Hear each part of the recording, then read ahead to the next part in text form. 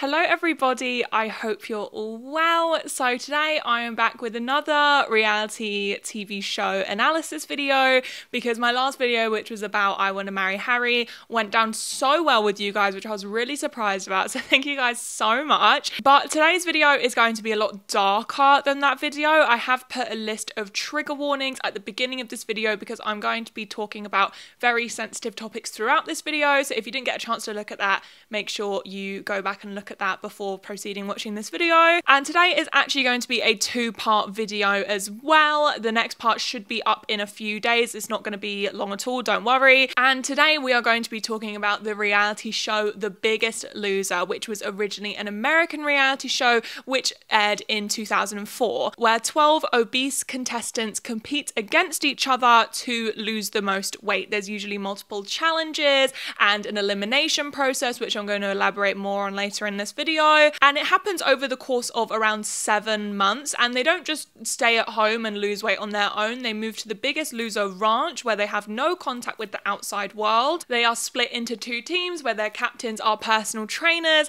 And the winner of the biggest loser is the contestant who loses the largest percentage of their body weight. And the winner actually wins a cash prize of 250 thousand dollars. And I'm gonna come out and say this now. I have not watched an entire season of this show because, first of all, it's actually really difficult to find entire seasons to watch anyway.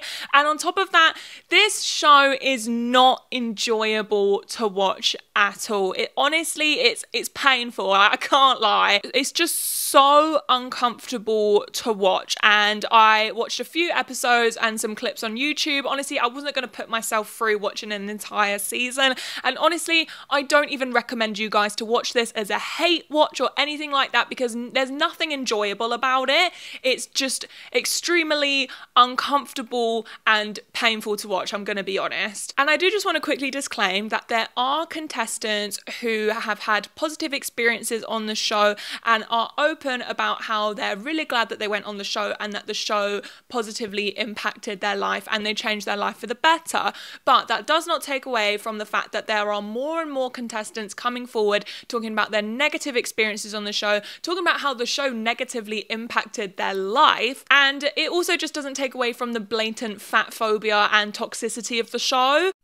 Hey, you, you, you, you, you, you at home. I am talking to you.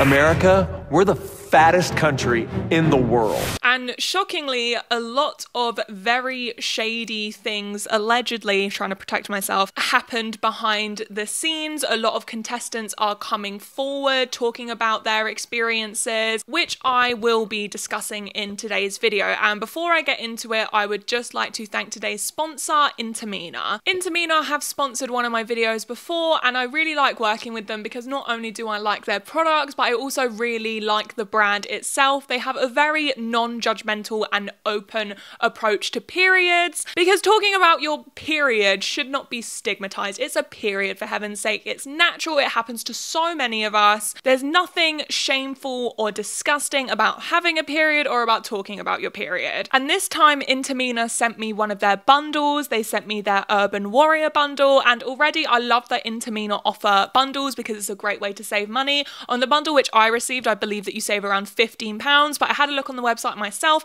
and some of the bundles you can save up to £45, so I really recommend that you guys go and check it out. But the Urban Warrior bundle comes with the Lily Cup Compact, which I've spoken about on my channel before, and you guys know that I really like it. It comes with the original Lily Cup, the Feminine Moisturizer, and also a cleaner for your Lily Cups. Can you tell that I'm struggling doing this with one hand? Now, Lily Cups do come in different sizes. Size A, which is the one that I have here, is recommended for people who haven't given birth or have had C sections or have sort of a medium flow. And the size B is recommended to people who have given birth, have a weaker pelvic floor, or have a heavier flow. But regardless, both Lily Cups are still ideal for people with higher cervixes and a heavier flow. They do hold more than an average tampon, so you don't need to worry about leaking. They're also easy to use because you can roll them as thin as a tampon when you insert it, and sort of its angled shape really complements complements your anatomy very well, so they're very comfortable and of course, they are reusable and eco friendly. If you guys are interested in checking out Intimina and their products, make sure you guys click the link in the description. And thank you so much, Intimina, for sponsoring today's video. Part one fat phobia. Before we discuss the biggest loser, we have to talk about fat phobia because without fat phobia, I really doubt that a show like The Biggest Loser would even exist, let alone thrive the way it did. Now, I'm not going to be going into extreme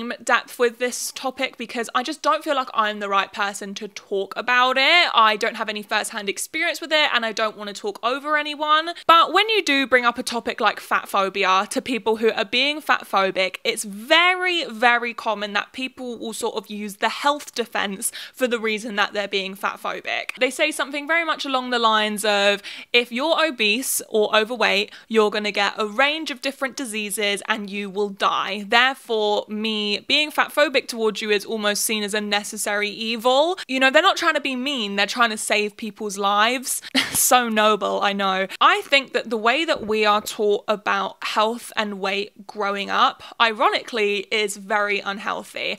Growing up, we are taught that your weight equates to your health. So if you aren't at a healthy weight, if you are overweight or obese, you are automatically deemed as unhealthy. And before we debunk that, we need to discuss how weight is measured, how doctors figure out whether you're underweight, normal weight, overweight, or obese, etc. A majority of doctors will take something called a BMI, which is a body mass index, where they take your height and your weight, they square it, and then they do a mass thing to it and then they work it out. As you guys can tell, I'm not I'm not good at maths. I, I don't know. And if your BMI is 25 or over, you are considered overweight. But BMI is honestly a terrible and inaccurate way of measuring weight. To quote a Medical News Today article, it does not take into account muscle mass, bone density, overall body composition, and racial and sex differences. Also, guys, BMI wasn't even created by a doctor. It was created by a mathematician in the 19th century. We're still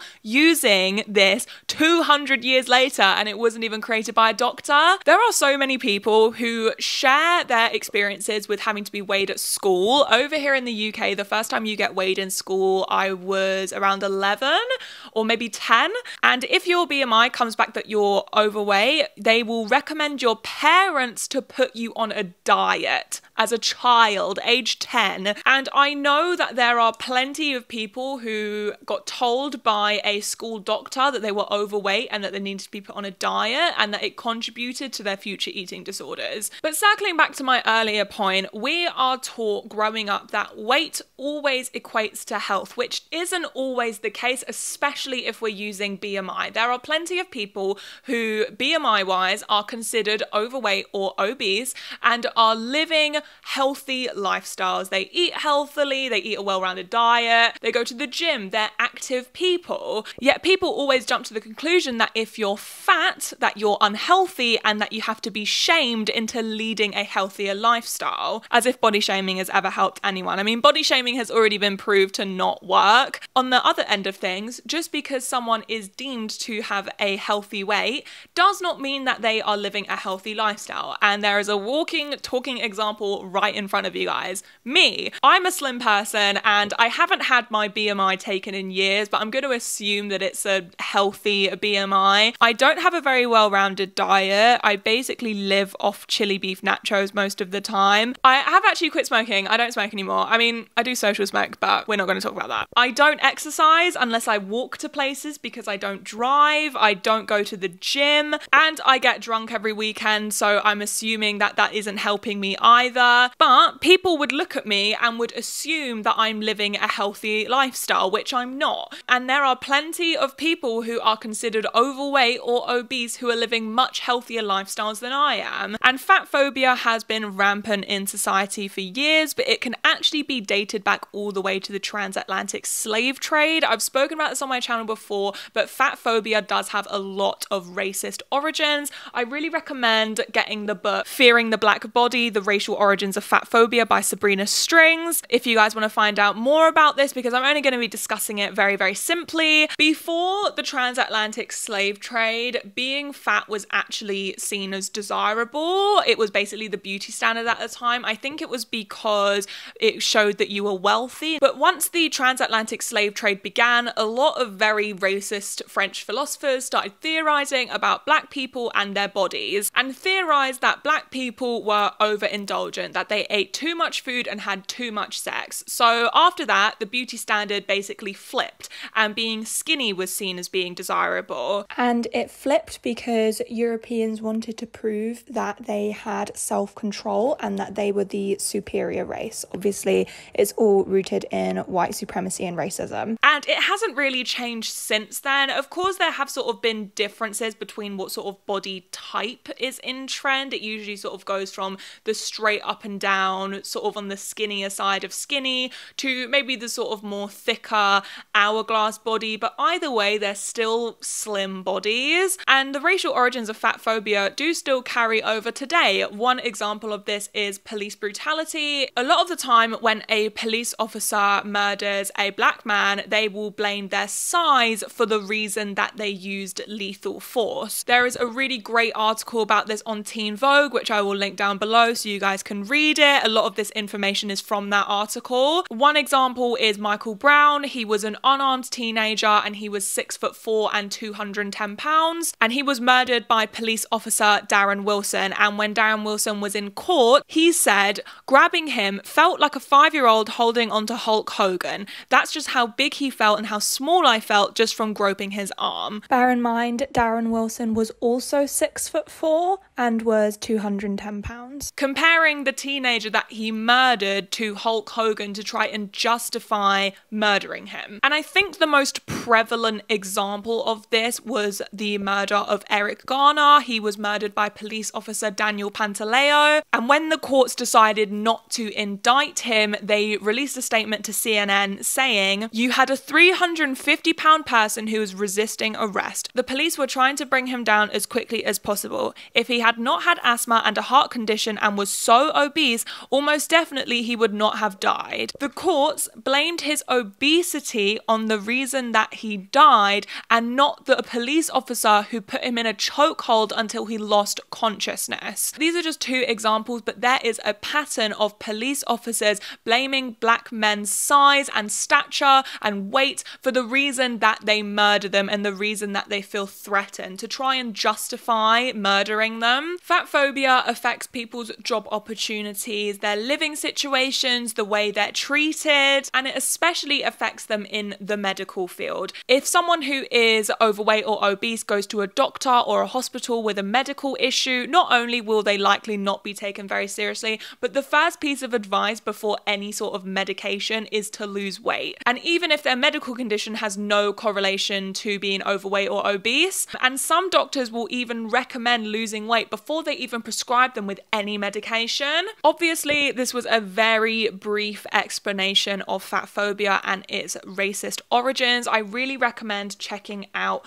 the book Fearing the Black Body if you guys want to know more. I also recommend checking out Da'Shaun Harrison's website. They talk a lot about their experiences with racism and fat phobia and how it often intersects with one another. I also recommend checking out the podcast Maintenance Phase, who very often debunks myths surrounding being fat and fat phobia. And they did actually make an entire episode about the biggest loser, which really helped me out with my research. So I recommend checking that out as well. Part two a typical episode of The Biggest Loser. Now, let's talk about The Biggest Loser. As I said earlier in this video, there's usually around 12 to 14 contestants and they are split into two teams and their captains are personal trainers. Each episode is two hours long, including ad breaks, and each episode features some or all of these challenges. There is a temptation challenge, which is probably one of the most messed up ones, where contestants have have the option to eat a temptation food in exchange for a prize. If you guys don't know what a temptation food is,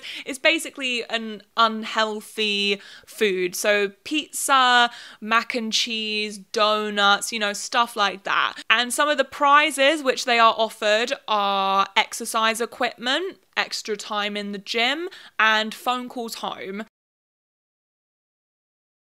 In every episode, there is a reward challenge where the teams have to compete against each other, doing an exercise challenge in order to win a prize. And usually, it isn't a normal exercising challenge like jogging or rowing or something like that. It's usually something absolutely ridiculous, which I really doubt has any health benefits, such as attaching themselves to food trucks with harnesses and pulling it over a finishing line, or running a mile on a beach with driftwood strapped to their back. And the prize for the winning team slash winning individual can range from anything from exercise equipment, cooking classes, which often have very heavy product placement, but we'll talk about that later. Extra time in the gym, phone calls home, immunity, but the most common prize we see are pound advantages. And basically, these pound advantages are used in the weigh in. So if you have a three pound weight advantage, three pounds is taken off your total weight lost. I will explain the weigh ins in just a moment. There is the initial workout, which basically involves all the contestants being verbally abused by their trainers and then exercising to the point of throwing up, passing out, and sometimes even being hospitalized. Let me explain something to you. When your lips turn blue, then you're gonna pass out. Okay? But you're not gonna die. And sometimes during these initial workouts, a contestant will get very emotionally distressed and will reveal the events which usually are very traumatic, which led to their weight gain. There is also the last chance workout, which is the workout just before the weigh in, which often involves even more verbal abuse, throwing up and passing out, and of course, sometimes even being hospitalized. maybe something wrong. He came to me and said, I feel like I'm going to go down.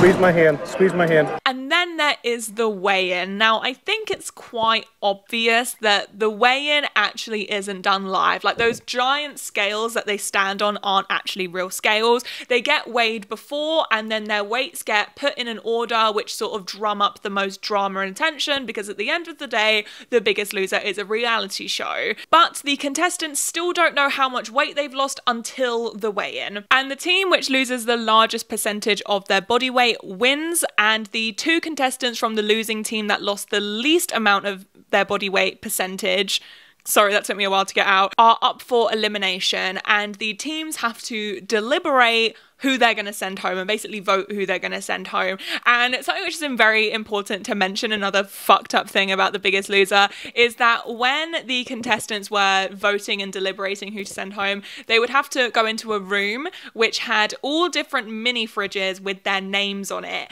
And it was filled with all of their personal temptation food. So all of their favorite temptation food. And they basically had the option to eat it or not. And on top of that, the way they would reveal what contestant they chose to send home was that they would put their name on a little piece of cardboard on a silver platter and cover it with a dish. It's actually sick. Part three the contestants. I think almost an integral cog to the biggest loser machine is the contestants which they choose to go on the show. In its peak, the biggest loser was so popular that thousands of people were applying to go on it every single year. And this was discussed on the maintenance phase podcast, but the biggest loser obviously chooses overweight and obese people who aren't healthy and aren't happy with their bodies and imply that every single overweight or obese person is like this, which just isn't the case as I said earlier, there are plenty of people who are considered overweight or obese who are living healthy lifestyles and slash or are very happy with their bodies. And I do just want to add that there is nothing wrong with wanting to lead a healthier lifestyle and make a change in your life. The contestants aren't the people to blame here, but just because someone is fat and unhealthy doesn't make them any lesser of a person. It doesn't make them a bad person, which is what the biggest loser seems to imply in every single one of their episodes. That you're only worthy of respect if you're thin, not if you're healthy, if you're thin. But I will elaborate more on this later. But honestly, I don't think that that's the worst part about the contestant selection on The Biggest Loser. The worst part is that they very clearly choose contestants who have eating disorders or have very unhealthy relationships with food, have binge eating disorders, bulimia a lot of contestants who have experienced very real trauma in their lives and use food as a comfort. And I'm going to talk more about what the contestants endured on the show, but it probably definitely made their relationships with food a lot worse. And I think one of the worst parts about the show is that a lot of these contestants have very real emotional trauma and mental issues, yet there aren't any therapists on set, and their personal trainers almost double up as their therapists, even though their personal trainers are not licensed therapists, they're only personal trainers. And as far as I'm aware, there's absolutely absolutely no therapists on set on the show. There was one contestant on season 16, Erin, who was actually a contestant on The Voice, and she went for her first weigh in, and I think she lost around 10 pounds. And she got very emotional while she was on the scales, and the host asked, When was the last time that you lost this much weight? And she said it was when she was bulimic, and it was still celebrated. No one saw anything wrong with it, and it was honestly just really sad to watch. And and also, another thing to note about the contestants is it's pretty known that some of the contestants actually enter for the prize money and not actually to lose weight. There are some contestants who allegedly have admitted to entering the competitions they could pay off their college debt. And one moment which really stuck in my head, which was from season 16, is right at the beginning, they get all of the contestants to run, I think it was a mile on a treadmill. And whilst they were running, the host offered $5,000 to anyone that would quit the show on the spot, and no one took it. And then he upped it to $10,000. And eventually he upped it all the way to $25,000 and went up to one of the contestants who he probably knew was poor and asked them how much $25,000 meant to them. And this guy said, That means everything to me. I could pay off all my debt with that money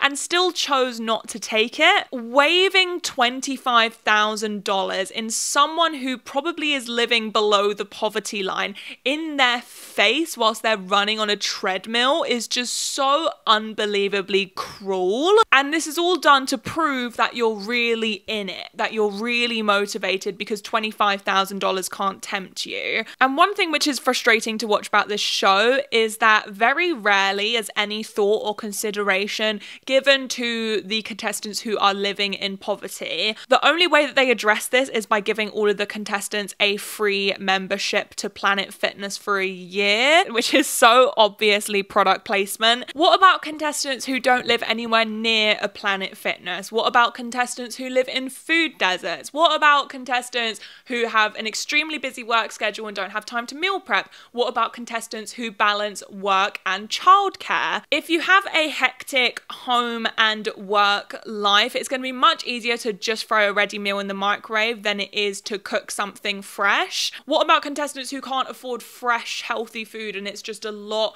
more financially sustainable for them to buy frozen food? The biggest loser doesn't answer any of these questions relating to sort of the socio-economic and environmental factors of why people can't live healthy lifestyles, even if they want to. Instead, they just push all this very obvious product placement, which I will discuss more in the second part of this video. Part four shady behavior. Now, onto the biggest bulk of this video, the shady behavior. And honestly, I think calling the way the biggest loser treated their contestants as shady behavior is honestly the biggest understatement of the year, but I had no idea what else to call this section. And the way the biggest loser treated their contestants is just another example of how reality TV shows exploit very real people for viewership and how there is no care for these contestants. And all of this information is alleged. I'm not trying to get sued by the biggest loser. Firstly, let's talk about the way the biggest loser manipulated their audience. The first thing is with the weigh ins. They're a very integral part of the show, they're done every week, and whichever contestant loses the least amount of weight is usually sent home. And as I said earlier, the scales aren't real, it's all put in an order to sort of drum up the drama and tension. And for some of you guys who haven't watched the show, the amount of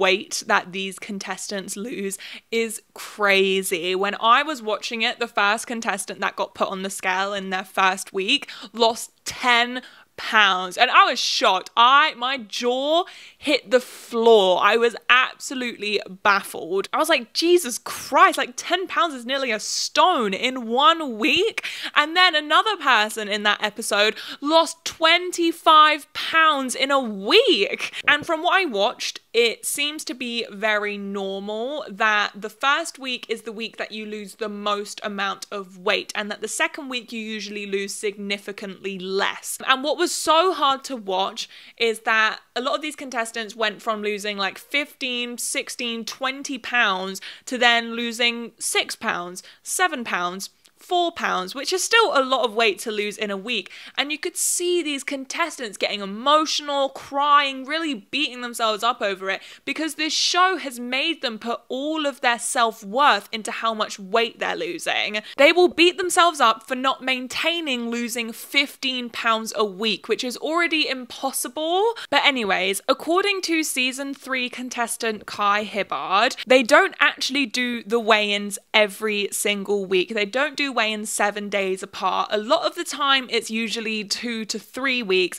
but the show will tell the audience that these contestants lost 20 pounds in one week, which, as we all know, is probably pretty unlikely. And this is messed up because a big thing about The Biggest Loser is that it basically built an empire for itself and ended up sort of expanding into fitness DVDs, cookbooks, exercise plans, stuff like that. But I'm going to talk more about that in the second part of the video. And they're leading their audience to believe that losing 15 pounds a week is normal and that it's achievable and really manipulating their audience. And usually this manipulated the audience to buy their products, but we'll talk more about that later. And also, another thing which The Biggest Loser did, which I forgot to mention in this video, is that they actually make all of their contestants do the weigh ins in either a sports bra or the men have to do it topless. They have no other choice, they have to do that until they reach below a certain weight, then they're allowed to put their tops back on. And according to past contestants, The Biggest Loser had them eating under 1,000 calories a day. Kai Hibbard said that she was eating basically only sugar free jello and asparagus. And asparagus is a diuretic. I think that's how you pronounce it. And if you guys don't know what a diuretic is, it's basically a food which makes you pee more. So the more she pees, the less water weight she'll hold. One of the trainers, Jillian Michaels, allegedly gave her team caffeine pills so they'd have more energy to exercise. And speaking of exercise, the biggest loser got their contestants to exercise six to eight hours a day, which is 10 times the recommended amount. But back onto the topic of the contestants' diet, an NBC investigation was actually launched into the show after a handful of past contestants alleged that they were given diet pills whilst on the show. And as you guys can probably tell, these contestants were being completely malnourished. Therefore, their bodies started negatively reacting and basically shutting down because they were being starved. Some of the contestants have alleged that they experienced hair loss. One of the winners, Ryan Benson, who lost 122 pounds, which was 37% of his body weight, said that towards the end of the competition, he started urinating blood, which is a sign of not only dehydration but also kidney damage. And I think what's the most sort of hypocritical, ironic, like frustrating thing about watching this show is the biggest loser over and over again in every single episode, every chance they get, will paint itself as a show which cares about the nation's health, which is so off the mark, it's honestly laughable. Not only do they allegedly restrict their contestants to under 1,000 calories a day, but also there's very little food based education in the show unless it's heavy, heavy product placement. So, as a viewer, or at least as a critical viewer, you honestly don't know what to believe. Also, on top of that, this show is so obviously riddled with misinformation. I have no idea how they get away with it. One example was when I was watching it, I think it was an episode from season 16, they were doing like this calorie counting challenge, and the host, I think his name's Ben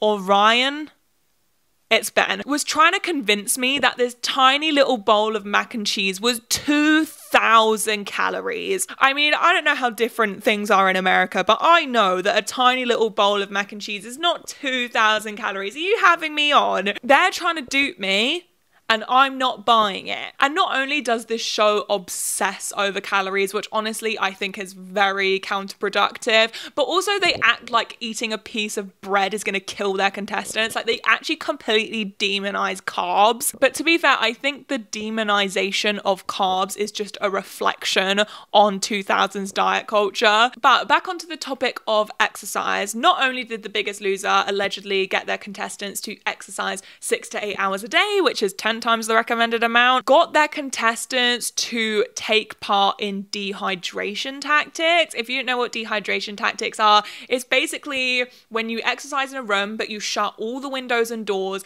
and you start layering up your clothing so you sweat more. And they also got their contestants to sweat it out in saunas as well. And they got their contestants, allegedly, to take part in dehydration tactics so much that some of them had to take salt replacement tablets because they were losing so much salt from sweating so much. During exercise segments of the show, it was very common to see contestants throwing up, passing out, and even being hospitalized. And as most of us know, if you are exercising towards the point of throwing up and passing out, is your body giving you a message telling you that you need to stop. But if you are a contestant who doesn't push past the throwing up or passing out, you are seen as weak and lazy. And this isn't even the worst part about the exercising segments. For me personally, the worst part about the exercising segments is the verbal abuse that these contestants get from their trainers. This is something which is actually very widely talked about because it's just aged so badly. One of the trainers, Jillian Michaels, is very infamous for just being absolutely vile towards the contestants. And if you guys don't know her, I'm going to read out a few of her famous quotes just to sort of set the tone, set the mood. I don't care if people die on this floor. You better die looking good. I'm proud, that I made him vomit. If you don't run, I will pull Alex on the floor and I will break every bone in his body. I don't care if one of your legs falls off or if one of your lungs explode. The only way you're coming off this damn treadmill is if you die on it. It's fun watching other people suffer like that. And there are a lot of other shady things which the biggest loser have done, which I will be discussing in the next part of this video, which will be up in a few days. Thank you guys so much for watching this video. Give it a thumbs up if you liked it. And thank you so much Intimina for sponsoring today's video. And I will see you literally only in a couple of days for the next part of this video. Bye!